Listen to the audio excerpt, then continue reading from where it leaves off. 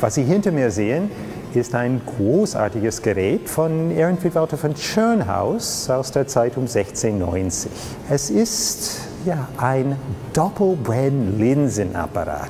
Das ist ein langes Wort, aber wir kennen die Grundidee aus unserer Kindheit. Mit einer Lupe kann man etwas verbrennen. Mit zwei Lupen und zwei Lupen der immensen Größe, der bis dahin unbekannten Größe, wie hier bei diesem Instrument, konnte man Fantastisches bewerkstelligen.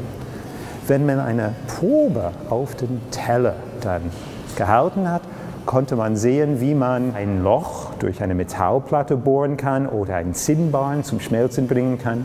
Der Erbauer dieses Monsters hinter mir war ein sächsischer Adliger, Ehrenfried Walter von Schönhaus.